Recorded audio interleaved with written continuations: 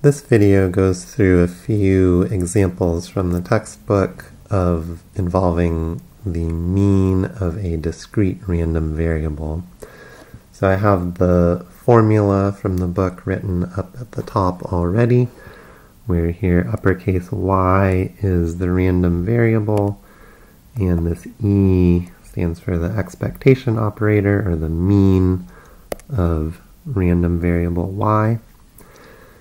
And then the formula is saying if we have uppercase j number of different categories or possible values of y, written as little y subscript little j, uh, then the mean can be written as this sum of each possible value multiplied by its corresponding probability.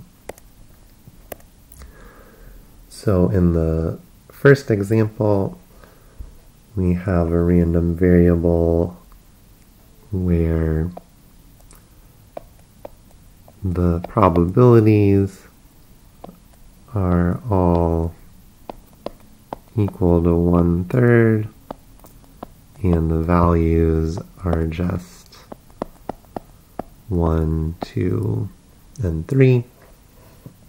So if we plug that into our formula, this part here is just one third for each term, and then the values will iterate through 1, 2, and 3 in turn.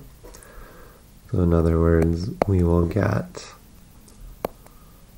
one third times one plus one third times two plus one third oops,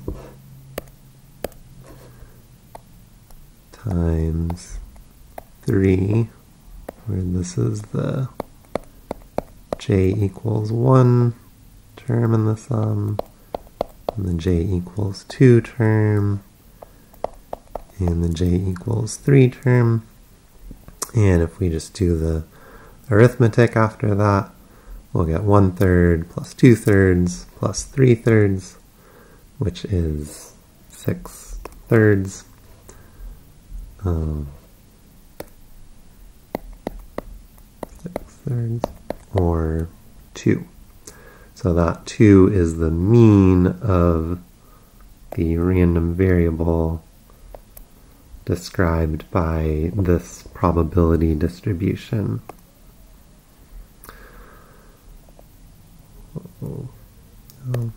Maybe I'll leave that there. We can think of a different example now where there's two random variables each with the same four possible values, one, two, three, or four, but where the probabilities are different. So for a random variable w, probability that w equals j is j over 10 for j equals 1, 2, 3, 4. So again, using the formula, the mean of w is the sum of the probabilities times the values. So in this case, for j equals 1, the probability is 1 tenth, and the value is 1. That's our g equals 1. Uh, and just to clarify here, this instead of little yj, the values are just j itself. So maybe save some notation, but hopefully doesn't add confusion. And then for the next possible value, which is 2, uh, the probability is 2 tenths and the value itself is 2. And then similarly for j equals 3, it's 3 tenths times 3. And finally 4 tenths times 4. And if we do the arithmetic, we get 1 tenth plus 4 tenths plus 9 tenths plus 16 tenths. And uh, altogether we get 30 tenths or 3. Uh, and we can see if we were to change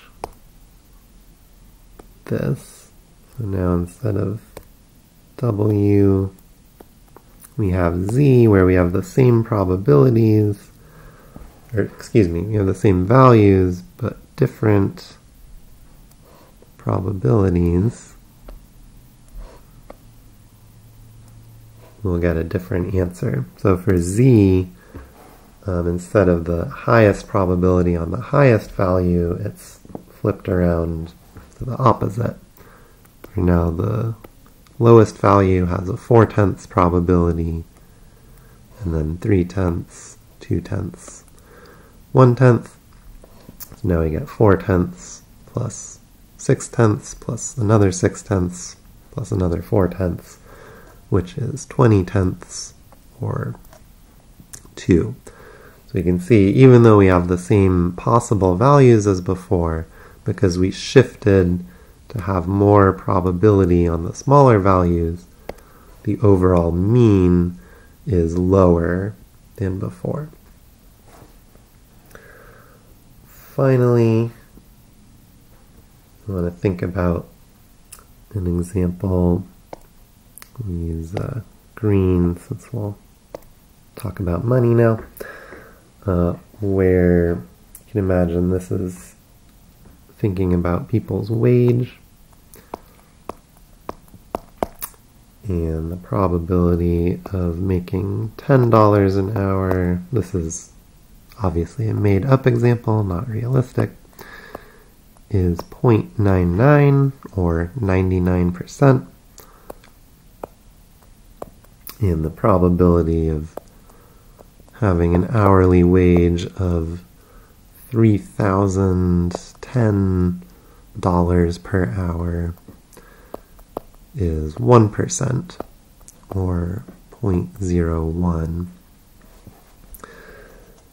Now, if we look at the mean, again using that same formula as before, this time there's two possible values, so j equals 2, and here little y1 is 10, and little y2, the other possible value is 3010.